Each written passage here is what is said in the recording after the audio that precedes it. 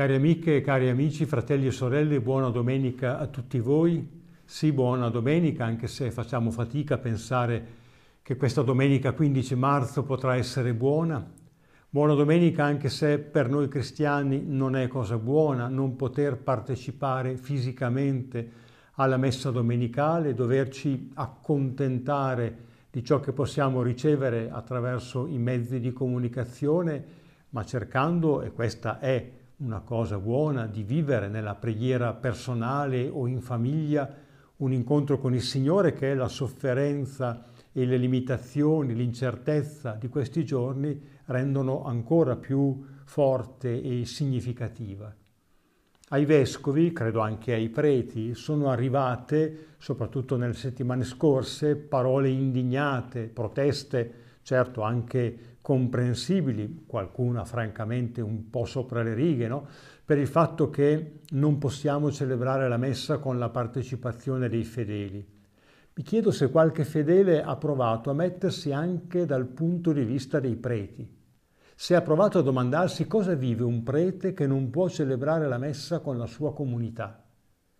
Quale senso di tristezza danno quei banchi vuoti, e poi anche il vuoto delle sale, degli incontri, degli oratori. Sono sicuro che qualcuno di voi eh, ci ha pensato e faccio mio l'invito che ho sentito da un prete. Se potete mandate un messaggio, una parola, fate una telefonata di incoraggiamento ai vostri preti, perché il senso di impotenza che vivono in queste settimane sia superato anche grazie alla certezza che i cristiani si ricordano del loro prete e compatiscono con lui le fatiche di questi tempi. Grazie.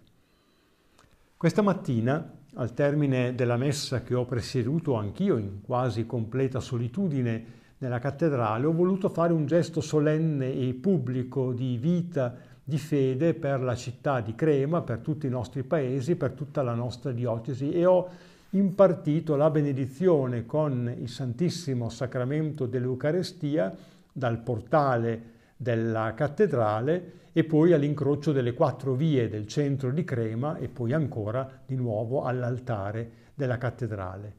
Eh, non potevamo naturalmente dare pubblicità a questo gesto per i motivi che ben conosciamo, Qualche passante occasionale l'ha visto e ne è rimasto, credo, toccato.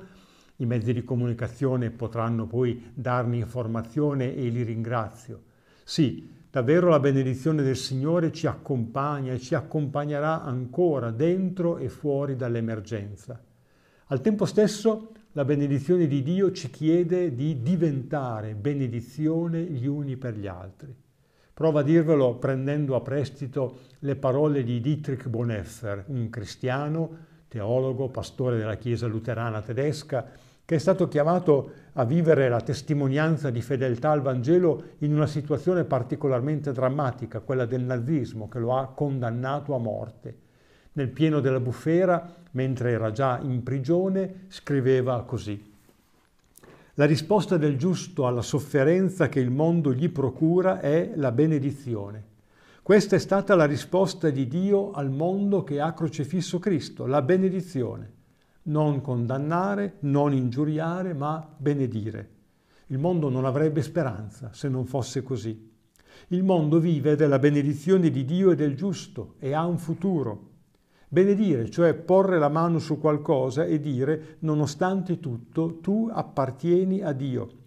Così facciamo con il mondo che ci procura tale sofferenza. Noi non lo abbandoniamo, non lo respingiamo, non lo disprezziamo, non lo condanniamo, ma lo chiamiamo a Dio. Gli diamo speranza, poniamo le mani su di esso e diciamo la benedizione di Dio venga su di te, ti rinnovi. Sii benedetto, mondo creato da Dio che appartieni al tuo Creatore e Redentore.